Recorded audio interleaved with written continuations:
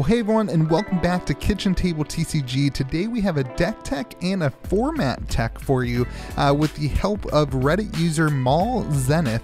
Uh, thank you, Maul, for helping me put together some scripting on this, and I've really appreciated your posts that uh, kind of highlighted this idea for me. But without further ado, let's talk about this idea. I want to introduce to you all a format that's been spoken about a decent amount, but really unexplored in any competitive capacity up to now.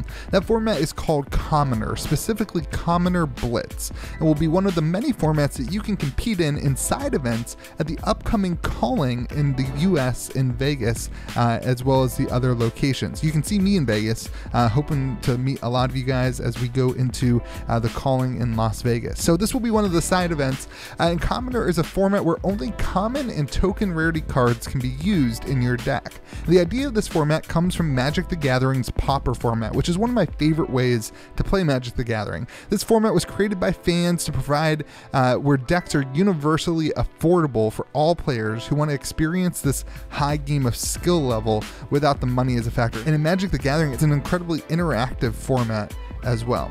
So if you want to dive into constructed flesh and blood and don't want to worry too much about assembling the optimized deck list with expensive majestics and legendaries, this might just be the format for you.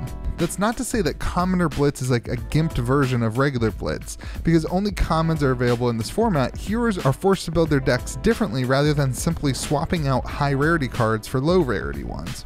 Explosive turns fueled by situationally powerful rare and majestic cards just don't exist in this format, so games tend to be a little bit slower.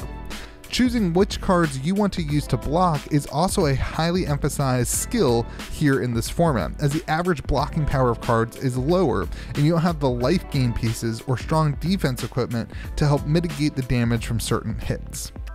The following two decks are on the simpler side, but I believe that they illustrate the breadth of the deck types available in Commoner. We'll take a look at an aggro Ira list, a deck that aims to put as much pressure on as possible to win, and Stonewall Bravo, a highly defensive deck that simply outlasts the opponent with a hammer to the face every turn.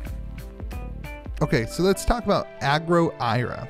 For anyone who's played Blitz competitively, Ira is either the bane of anything fun, and you're like me and you hate her, or it's the hero that you're running. Her strength lies in her simplicity.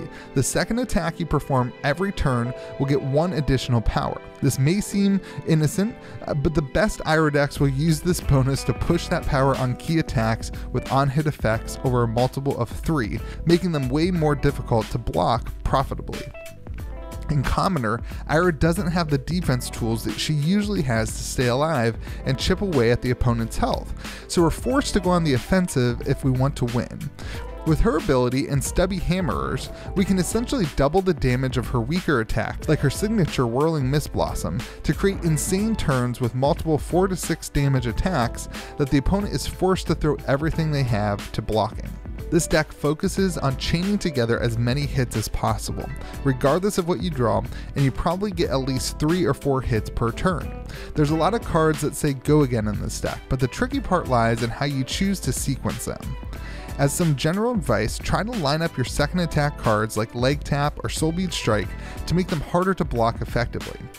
In the example above, we swung for 19 damage plus an additional 1 damage for every attack that hit before Salt the Wound was played. So you can see it's very easy to go wide. If an opponent manages to block you, preventing you from gaining go again, you can use Snapdragon Scalers or Razor Reflex to keep the combo going and push the damage through even the strongest of defenses. If you ever draw one of your combo pieces without the other, prioritize pitching it or banking it in your arsenal for a later turn where you can line it up. When you're playing Ira, make sure that you plan out your turn so that any non attack action cards, such as using Heartened Crosstrap, Stubby Hammerers, or Minnowism, are used at the beginning of the combat chain. Any interruptions in your attack once you start attacking will close the combat chain, locking you out of some bonus damage. While Bravo is pretty popular and classic constructed, he tends to be on the weaker side in Blitz due to how slow he tends to play. Fortunately, in Commoner, that's right up his alley. Bravo has a ton of defense tools available to him, and the reduced average defense per card in Commoner means that the chip damage that he does with Anothos is going to be much more potent. Our goal with this deck is to heavily block on our opponent's turn and then swing in with Anothos, eventually whittling our opponent down until they have no cards in their deck or are one well placed swing away from death. To do this, we'll be running a few key sets of cards. A full set of the cheap generic defense reactions, Fate Foreseen and Sink Below.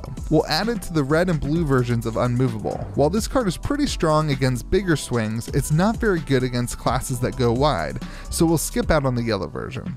Finally, we have the key card of the deck, Stonewall Confidence. This card gives all of our 3 cost cards an additional 2 to 4 defense, making it hilariously easy to block out an entire turn with 1 or 2 cards. The rest of this deck, you guessed it, costs 3 or more and most pitch for 3, letting us pay for Anothos using a single card.